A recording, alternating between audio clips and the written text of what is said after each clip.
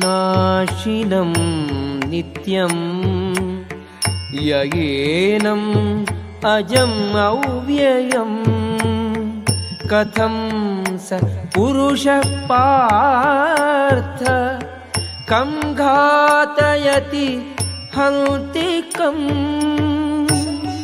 ಹೇ ಪಾರ್ಥ ಆತ್ಮವು ಅವಿನಾಶಿ ನಿತ್ಯ ಅದಕ್ಕೆ ಹುಟ್ಟಿಲ್ಲ ಕ್ಷಯವಿಲ್ಲ ಎಂದು ತಿಳಿದವನು ಹೇಗೆ ಯಾರನ್ನಾದರೂ ಕೊಲ್ಲುವನು ಅಥವಾ ಕೊಲ್ಲಿಸುವನು? ಹರೇ ಕೃಷ್ಣ. ಪ್ರತಿಯೊಂದು ವಿದ್ಯೆಗೂ ಅದರದೇ ಆದಂಥ ಒಂದು ಪ್ರಯೋಜನ ಇರುತ್ತೆ.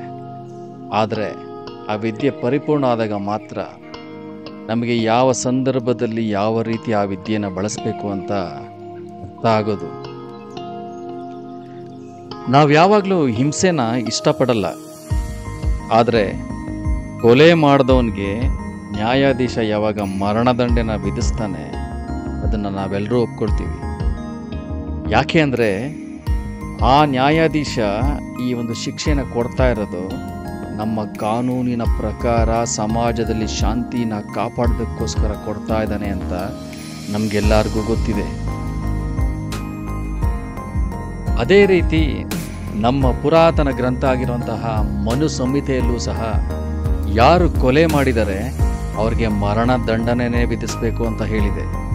ಯಾಕೆ ಅಂದರೆ ಅವನು ಮುಂದಿನ ಜನ್ಮದಲ್ಲಿ ತಾನು ಮಾಡಿದ ಪಾಪಕ್ಕೆ ಕಷ್ಟನ ಅನುಭವಿಸಬಾರ್ದು ಅಂತ. ಆದ್ರಿಂದ ದೇವೋತ್ತಮ ಪರಮ ಪುರುಷನಾದಂಥ ಕೃಷ್ಣ ಯುದ್ಧ ಮಾಡು ಅಂತ ಹೇಳಿದಾಗ ಅದು ಸಮಾಜದಲ್ಲಿ ಶಾಂತಿನ ಸ್ಥಾಪನೆ ಮಾಡೋದಕ್ಕೆ, ಧರ್ಮದ ಸ್ಥಾಪನೆ ಮಾಡೋದಕ್ಕೆ ಅಂತ ನಾವು ತಿಳ್ಕೋಬೇಕು.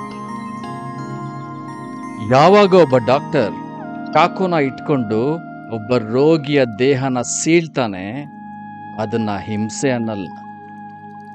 ಅದು ಆ ರೋಗಿಯ ಪ್ರಾಣನ ಉಳಿಸೋದಕ್ಕೆ ಮಾಡ್ತಾ ಇರೋವಂಥ ಒಂದು ಶಸ್ತ್ರಚಿಕಿತ್ಸೆ. ಅದೇ ರೀತಿ ಅರ್ಜುನನು ಸಹ ಈ ಕುರುಕ್ಷೇತ್ರ ರಣರಂಗದಲ್ಲಿ ಯುದ್ಧ ಮಾಡ್ತಾ ಇರೋದನ್ನ ಹಿಂಸೆ ಅಂತ ತಿಳ್ಕೋಬಾರ್ದು. ಈ ಸಮಾಜದಲ್ಲಿ ಶಾಂತಿನ ಸ್ಥಾಪನೆ ಮಾಡೋದಕ್ಕೆ ಅಗತ್ಯ ಇರುವಂಥ ಶಸ್ತ್ರಚಿಕಿತ್ಸೆನ ಮಾಡ್ತಾ ಇದ್ದೀನಿ ಅಂತ ತಿಳ್ಕೊಂಡು ಯುದ್ಧ ಮಾಡಬೇಕು ಎಂದು ಶ್ರೀಕೃಷ್ಣ ಈ ಶ್ಲೋಕದಲ್ಲಿ ವಿವರಣೆ ಕೊಡ್ತಾ ಇದ್ದಾರೆ. ಬಂದೇಹಂ